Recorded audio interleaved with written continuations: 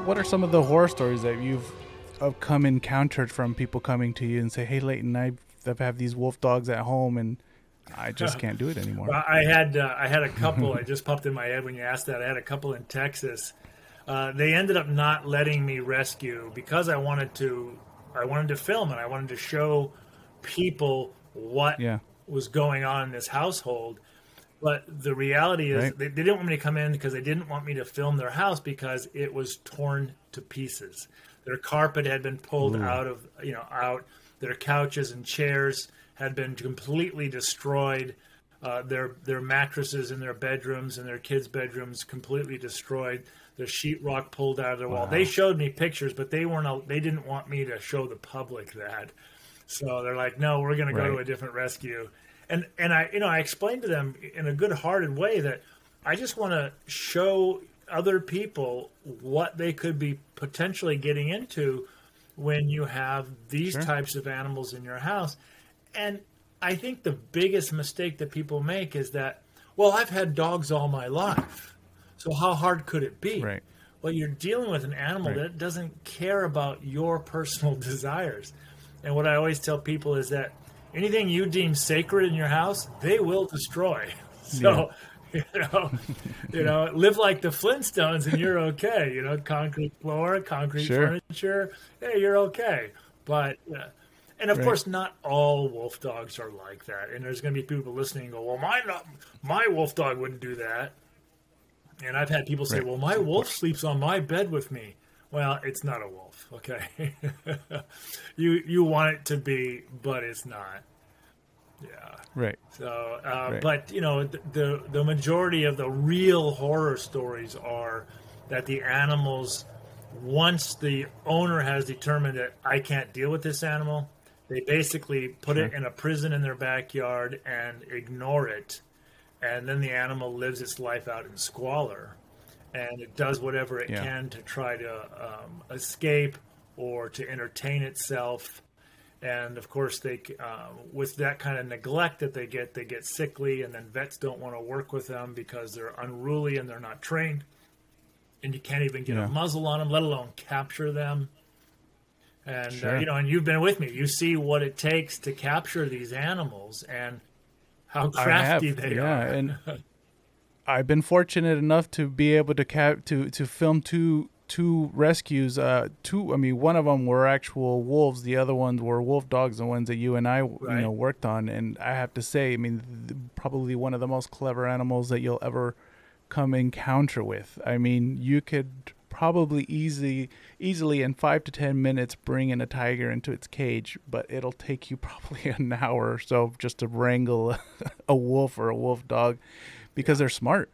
They are smart. They don't Yeah. take the bait. They know what is going on. They have these instincts that you're just they're like, yeah, you're not gonna outsmart that's outsmart me. So it's it's almost like you have to you have to really put your thinking Yeah. caps on and and really outsmart them because I remember the one that we did. Uh, they they kept uh, you know swinging side to side and they kept going right in through the Yeah. through the middle. they, they watch And you, I'll, they I'll put a clip on there.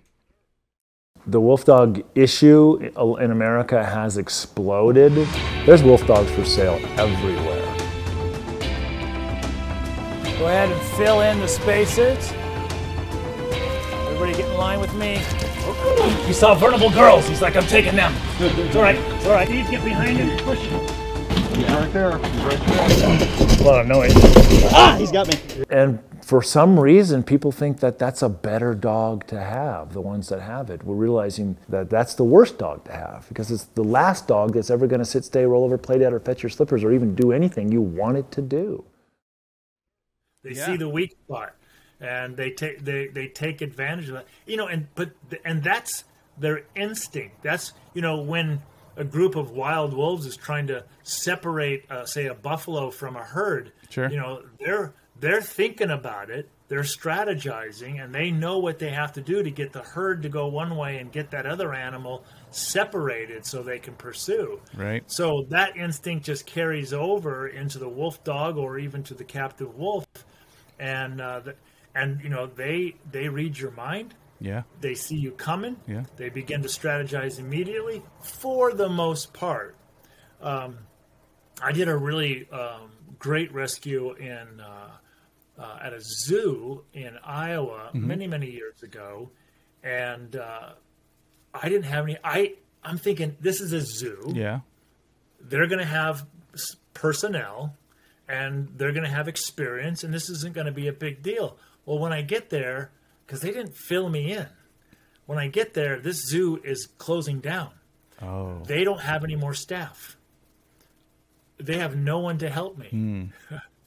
so, so we basically recruited neighbors, and uh, and they had hired a gal, a young girl, about 22 years old, uh, as their interim caretaker Yeah.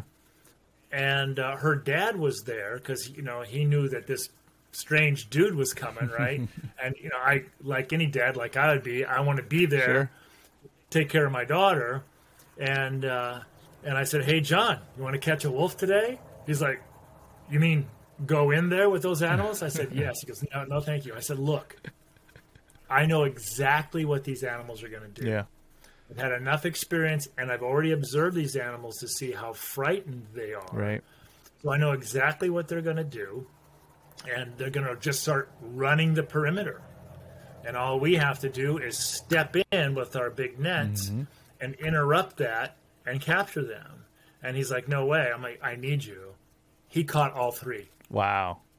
He caught all three. And the one thing that he said, you know, these were pure wolves, Yeah. and so pure wolves behave differently Sure. than wolf dogs do.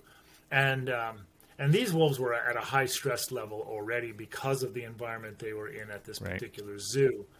And uh, he said, you know, it's amazing. When I got them in the net, they never growled, they never snarled, they never tried to bite me. Yeah. I'm like, right. That's they don't do that right. for the most part. Sure. They don't do that because those wolves were not had never been interacting with human beings. Hmm. Now we now when we flip over to wolves that are rather social or highly social, Right. and you go to capture them, they are different. They're like, I know you humans. Yeah. I know how to get away from you people. You know? Right. and uh, and you know you've been at Wild Spirit enough Sure. times to see that when we have the super high social ones that I can walk up to and kiss and love Yeah. on and leash, it's easy for our vet to uh, come in and do what needs to get done. But then when we have the semi-social that are wary, Mm. they're going to come up to you, they're going to love on you, but they're wary when a stranger comes in. That's the hard capture. Right. Right. So it it really doesn't matter as far as how they're raised. They can they all have different personalities. That one can be lov- lovey-dovey and the other one can just not be very social at all. Yep, yep, and you know, and we had that in many cases. Uh, we tried to put animals, like if we had an animal that was not terribly social, putting it in with a very social animal is to our advantage because we, in a sanctuary, we want to be able to touch animals. We don't force it upon Right. them, but we wanted to be able to touch them for their sake Right. for the ease of bringing a vet in to do vaccines or any other medical uh, procedure or just a, a general checkup. Right. So um, our policy was we're not going to force socialization, but we want to encourage it, and that makes it easier for the animal in the long Right. run. And and most of these animals, for the most part, obviously, have all been rescued, have been some somewhat been socialized, and, in I guess in a certain way, if you want to call it that. Yeah. yeah, Not all of them were just sequestered to a Sure. backyard, but those those that were were of course the most difficult ones. The ones that had been basically left in a prison backyard to to survive. Um, and you know, and then they they they're like humans. You know, they they can carry resentment towards Really? humans. And uh, not really want to participate with a human because they've been so abused. Well, then there's the flip side of those that have been abused and are so thankful Yeah. that there are nice people, and uh, then they warm up to a, to some degree or another, and oftentimes they actually pick their person. I see.